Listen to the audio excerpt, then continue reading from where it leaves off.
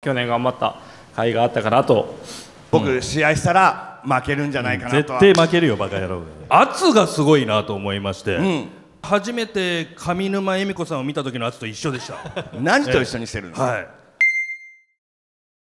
最優秀選手賞の発表はこの方々にお願いしたいと思います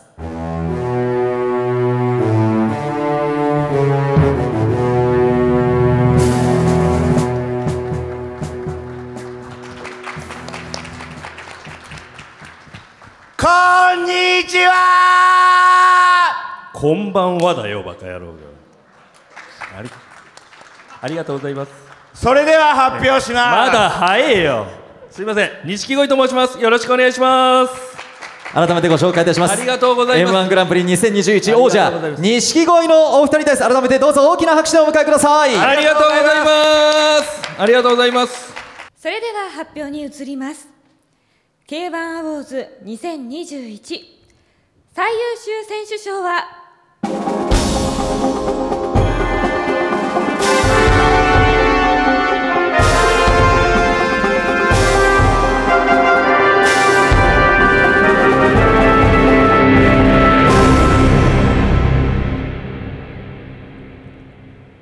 最優秀選手賞は？野入正明選手です。おめ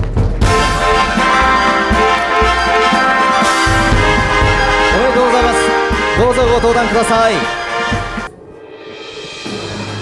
トロフィーと目録が贈られます。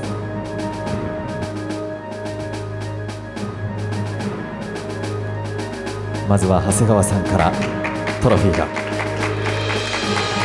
そして渡辺さんから目録が授与されます。ではまずプレゼンターとしてご登場いただきました錦鯉のお二人に感想を伺いたいと思います、はい。お願いします。はい、えーまあ、試合ね、えーいつも見させていただいてまして本当にね勇気と感動をね、あのーいただいて、まあ、すごいもう本当野入選手強くて、多分多分ですけど僕、試合したら負けるんじゃないかなと絶は対負けるよバカ野郎が思うんですけれどもね。本当にすいません。いや本当ありがとうございます。本当にすいません。はい。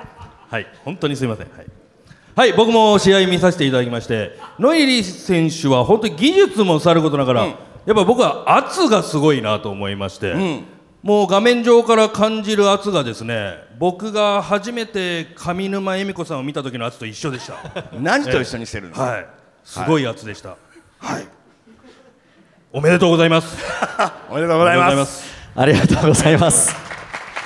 M1 チャンピオンから K1 チャンピオンへ喜びのコメントをいただきました。では K1 チャンピオンノイル選手 MVP です。受賞コメントをお願いいたします。はい、えー、そうですね。たくさん選手がいる中で最高、えー、と最終最優秀選手を選んでいただいてありがとうございます、えー、そうですね、まあ、去年頑張った甲斐があったかなと改めて思ってます、えー、そうですね。今まで MVP は2年連続選ばれた選手ってなかなか今までいなかったと思うんで今年もしっかり結果を出して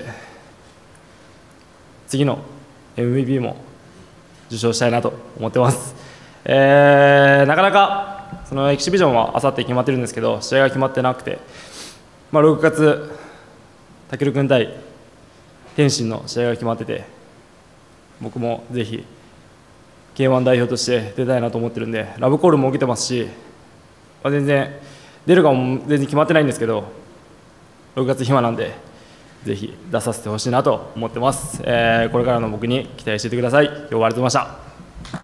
おめでとうございます。ありがとうございます。